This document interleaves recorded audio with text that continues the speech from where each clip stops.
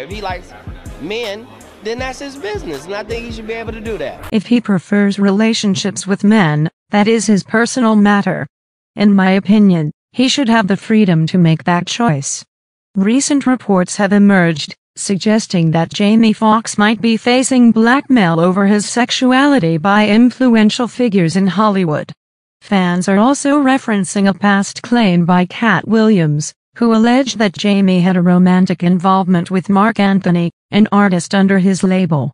There has been a significant amount of online speculation concerning Jamie's recent hospitalization particularly after he revealed feeling betrayed by someone close during his time in the hospital.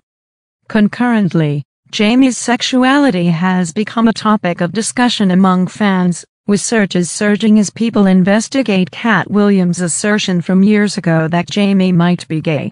So, what exactly did Katt Williams say about Jamie's sexuality, and did Jamie truly have a romantic relationship with Marques Anthony? Let's delve into the details. The number of men in same-sex relationships doesn't directly affect the number of women in opposite-sex relationships, as these are distinct and individual choices that contribute to the diversity of our society. I appreciate the perspective that gay men bring to our world. Jamie Foxx's recent discharge from the hospital hasn't quelled the rumors and conspiracy theories surrounding his medical emergency. In fact, they seem to be intensifying. Speculation about his being on the down low has resurfaced and gained traction.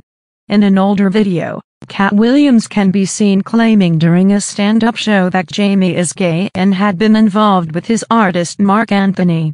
This claim dates back to 2012. Jamie's enigmatic Instagram post, addressing fake friends and betrayal, following his hospitalization, has led fans to wonder who he was referring to. Some fans are speculating that one of the individuals might be Sean Diddy Combs, considering their history. During Jamie's hospital stay, reports surfaced alleging that Diddy sought to silence Jamie to prevent him from disclosing secrets about his own sexuality and rumored gay gatherings. Notably, Jamie has never refuted these claims, and he chose not to address Katt Williams' controversial comments.